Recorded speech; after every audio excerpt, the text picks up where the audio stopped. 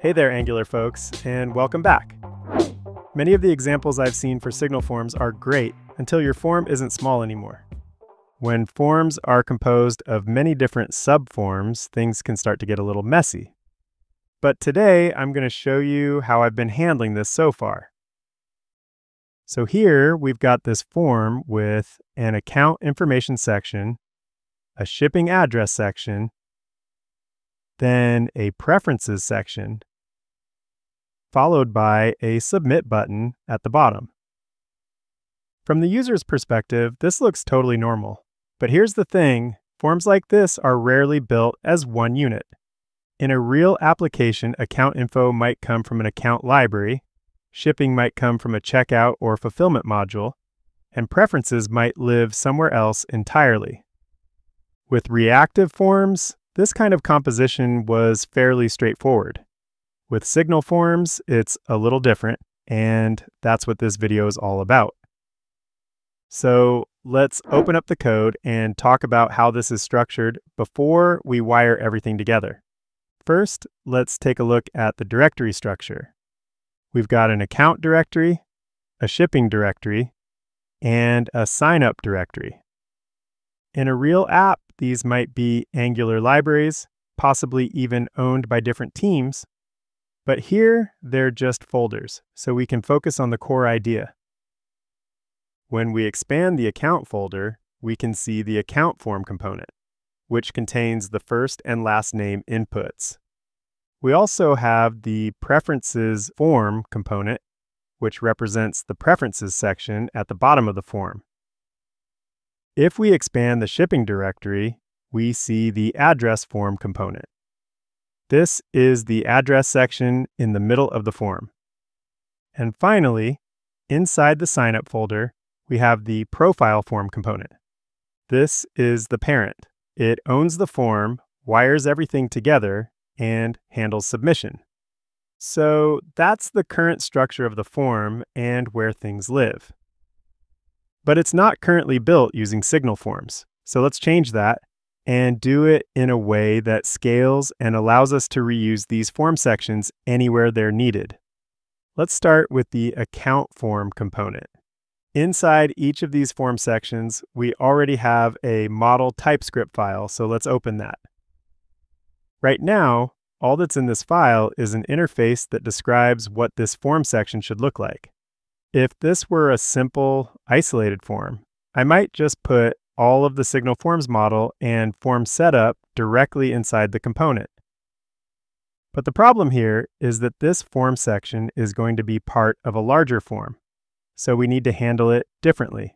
The idea I'm going to show in this video makes it so we don't have to rebuild the model and validation every time we want to reuse this form section. Instead, we'll export the pieces we need and import them into our larger form composition. The first thing we need to do is export the shape of this form model. I'm going to add a function called createAccountModel. This function returns a signal using our account interface. Then I'll initialize first and last name to empty strings. These will be the initial values for the fields. This gives us something really important, a reusable composable model definition that we can use in multiple forms. Instead of copying fields around, we now have a single source of truth for what an account looks like. That's step one. Now, let's switch over to the profile form component. Remember, this is the parent form component. The first thing we need to do here is define an interface for the overall form model. Let's call it profile.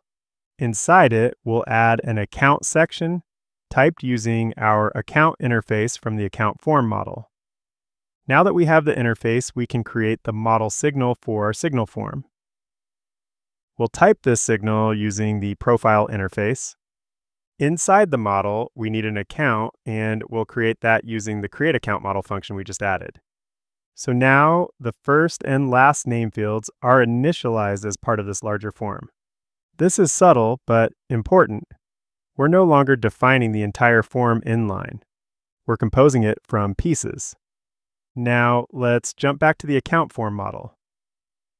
Next, we need to add the schema pattern, including validation for this form section. I'm going to create a new function called build account section. This function takes a schema path tree for the account section. Within it, we can now add validation.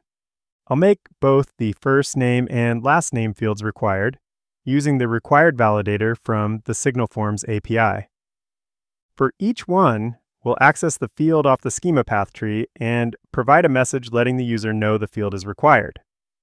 So everything related to the account section, fields, and validation now lives right here. This is the key shift. Instead of one giant form definition, each section owns its own logic. The parent just composes them. Now let's go back to the profile form component and wire this up. First, we add our form using the form method from the Signal Forms API. We pass it the model signal, then provide a schema callback that gives us access to the field tree. Inside that callback, we call our new build account section function, passing it the account field tree. That represents just the account slice of the form. And that's it. No giant validator block, no massive schema definition. The parent component becomes an orchestrator, not a field invalidation dumping ground. At this point, we have the form, but we still need a way to pass the field tree and state back into the account form component so it can bind fields and show validation in the UI. We'll do that using a simple input. Let's switch over to the account form component TypeScript. I'll add an input called form typed as a field tree using the account interface. This tells Angular and anyone reading this code that this component only cares about the account slice. It doesn't know or care about the rest of the form. Now, to properly connect inputs in the template, we'll import the field directive. We'll also import our custom validation errors component. Now let's switch over to the HTML. First, I'll use the field directive to bind the first name input. Right below it, I'll add the validation errors component and pass it the field state for first name. Internally, this component watches the fields touched and invalid state and decides when to show errors. Then we'll do the same thing for last name. This component is now completely reusable, completely isolated, and totally unaware of the parent form. And that's exactly what we want. Now let's switch back to the profile form template. Here, we use the form input to pass the account section into the account form component. And just like that, the account section is wired up.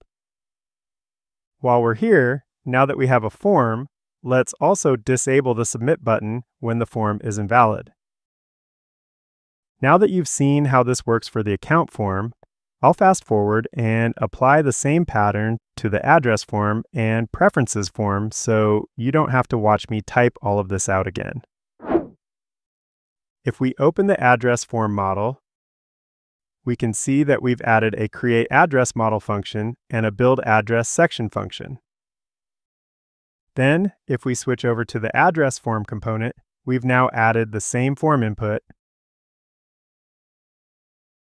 And in the template, we're using the field directive to bind each field and showing validation errors for each one. The preferences form follows the same pattern, so we don't really need to look at that in detail. Now, let's switch back to the profile form component. Here, we can see the additional sections now in the profile interface.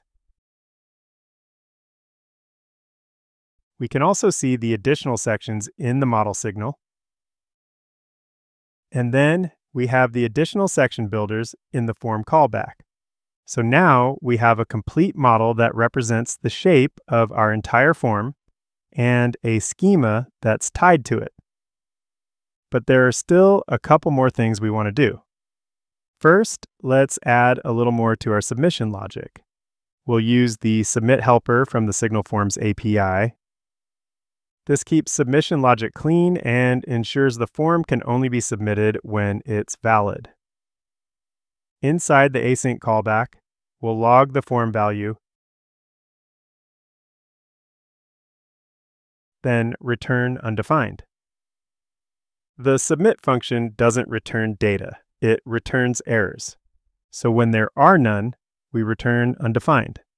Next, I want to add a debug panel component to help visualize how the form is working. I need to add it to the imports array. Then let's switch over to the template, add it to the view, and pass it the form. All right, let's save and see how this all works. Nice. The form looks pretty much the same, except the submit button is disabled. And now we also have the debug panel.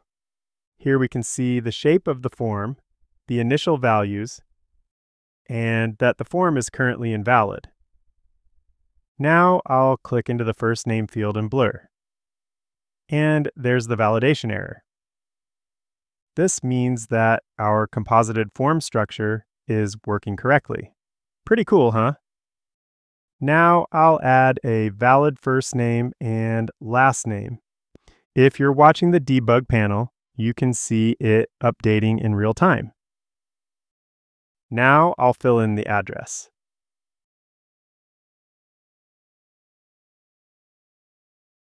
Oops, looks like the zip code needs to be five digits.